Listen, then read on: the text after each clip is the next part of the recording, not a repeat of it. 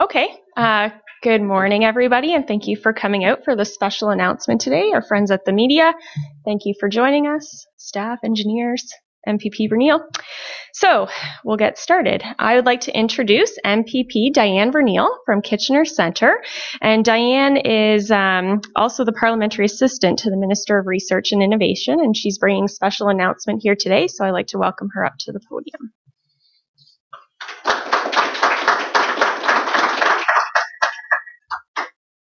Thank you very much. Good morning, everyone. I am delighted to be here today. I come bearing good news, and I promise you it is not an April Fool's joke. However, I, I wonder about this weather and what's going to be happening this weekend. We're getting snow, right? Maybe that is the April Fool's joke for us. Well, I am pleased to be here in the town of Minto for this very special announcement. Our family has a family cottage in Southampton, so from Kitchener to Southampton, it's exactly two hours. So Harriston was always the mandatory stop when you have small kids. Uh, but I'm glad to come here to the town hall and to see what, what else you have here because I am very familiar with the ladies' room at Tim Hortons on the highway. But it's good to know that there are other wonderful spots in town here. Well, as you are aware, our government has made investing in infrastructure a top priority. Communities like Minto rely on a network of roads, bridges, water systems, telecom networks, and other very critical infrastructure. And the cost of keeping them in working order, as you know, in a community this size can be very challenging. I'm proud to serve in a government that is doing something to address this need to help municipalities. As a testament to this commitment, we are making the single largest infrastructure investment in the province's history. More than $160 billion over 12 years, an investment that is creating 110,000 jobs each year across the province. The Ontario Community Infrastructure Fund is part of this commitment. We're providing funding for critical road, bridge, water, and wastewater revitalization projects. To date, 100 of these critical infrastructure projects have been approved through the application based fund for a total investment of 174 million. Recently, in our 2016 budget, we announced that funding for this important program will be tripled from 100 million per year to 300 million per year by 2018-2019.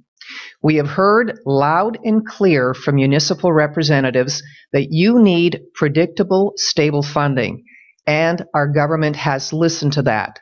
Now, 200 million of this expanded program is going to be in the form of predictable, formula-based funding. The additional 100 million will flow to communities in the form of application-based funding. And this is going to allow municipalities, both big and small, to receive the investments that they need to revitalize and to build critical infrastructure projects. And that's why we're here today. I'm pleased to announce that the government is going to be providing the town of Minto with up to 1.3 million to reconstruct sections of Jane Street and Inkerman Street. This project includes water main and sewer line replacement, road rehabilitation, and is one of 59 approved projects across the province that are going to receive the new funding. Uh, recently, listening to Toronto radio, the mayor of Toronto, John Tory, was being asked about sewers, and he said, "I, I know that." Uh, well, the, the interviewer said, uh, "You know, sewers isn't very sexy." He says, "Oh no, no, Sewers for me, he says, is a very sexy topic. He says, I'm having heart palpitations now, knowing that I'll be, be able to deal with this and to repair sewers in my city. So Ontario is also providing Minto with 1.9 million to improve road safety and create jobs through the Connecting Links program. The work includes reconstruction of Elora Street in Clifford. These improvements will enhance the safe and efficient movement of traffic on the connecting link. This program is one way that we're showing our long term commitment to Ontario's rural communities and to the families who do live there. One of the main goals of infrastructure investment is to make our communities safer, healthier, and stronger.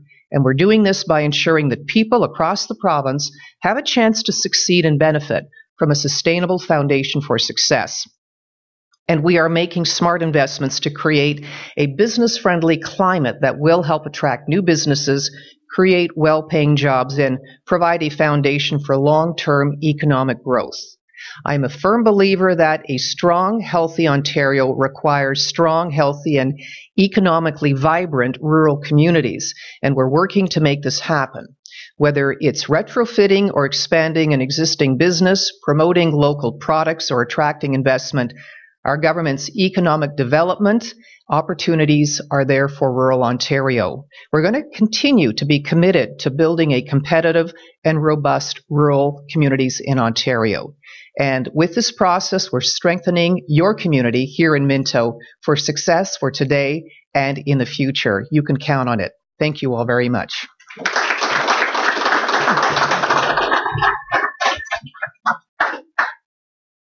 Thank you. I'd now like to call on Mayor George Bridge to bring remarks on behalf of the town of Minto. Thanks, Belinda. And Diane, I didn't realize that you have a cottage of Southampton. We have a cottage in Carden. So, yeah. Right. And and you had to go through our nice digging it project last year. That's right. Yeah. Well, Belinda actually, uh, and some people in this room, we won an award at the Ed- EDCO uh, conference for uh, the best collaboration on getting something done like that. So, Fantastic. and that that was a, with the county of Wellington and whatnot. A couple of little things I want to give you, as you were just mentioning, you don't know what the weather's going to be. so, as you may or may not be aware, we're driving past Teviotdale. You probably saw the big sign. We're having the international plowing match next year. So, I've got some new Oh, nice fantastic. gloves for you, and you can uh, have those now. Wonderful. Also, because it could be spring, this is a this is a uh, umbrella from the plowing match. I'm sure you'll be at the plowing match. Absolutely. I know uh, Premier Wynne's going to be there. I've already got a tractor lined up for her. You know, they put us on this tractor and they drag us around, and I have to say that everything that I do through the entire calendar year, the plowing match is my absolute favorite. You just get to relax and sit on this hay wagon and, and ride around and wave at people, and it's just so Yeah, and it's, it's going to be a lot of fun this year. And because we're so proud of our square donuts, Oh, Harriston Bakery. Donuts, I got six there for you for your travels. I know you're doing it quite a bit of running around. Thank you. This will be my sustenance today. Yeah. And I, you know what? Maybe your camera wants to take a picture of this. Sure. Well, well, I'll just, I, I just got a couple other po- comments I want to make, and then we'll get some photos. Um, you talked a bit about connecting links, Yes. and and we were very instrumental of, of talking to the government and saying we really need the connecting links program. One of the ones was Clifford because we couldn't afford to fix it with our infrastructure dollars without the connecting links program coming back. Coming back, and I'm so glad that the uh, the premier and uh, uh, a few of the ministers we went and talked to looked at that and it brought it back. And now I was really excited at Good Roads that we're going to increase it. And that's a good investment. That 1.9 million, and I know that we feel very proud that we're getting that much money from the province, but it's not just for us. As you you're well aware, we about 6,600 vehicles go through Clifford every day, and on the weekends close to 20,000. So it's not just it, when we talk about connecting links. That's what it is. It's connecting all their people from all the cities up to their cottages and everywhere else. So I'm, I'm glad that the province has seen that and they've and certainly come to the forefront with that. Um, Clifford, by the way, is a very small place, but unbeknownst to a lot of people, there's 22,000 people in their trading area. So they have a lot of area that they, they draw people into. So we're really looking forward to Clifford being done. Um, the other the other thing uh, I, we've talked about it. I know uh, Justin Trudeau talked about it at FCM, and I know uh, Premier Wynne's talked about it about the nine percent and sixty percent. We all know the infrastructure thing, and I love the fact that we're starting to do that sustainable infrastructure, Yeah. and that we're moving some of that money from a project base so we can do more planning at the local level. So I I really appreciate your government listening to us, and through Good Roads and through AMO, and coming up with these new efforts. And as together as partnerships that we've seen today, we can get a lot done.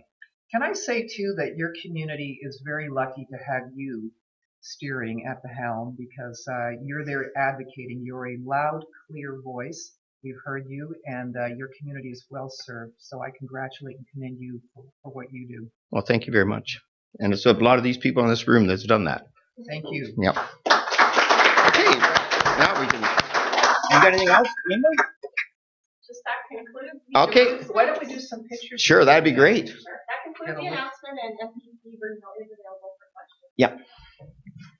Street. Oh, you never had those? I'm just getting a sugar high.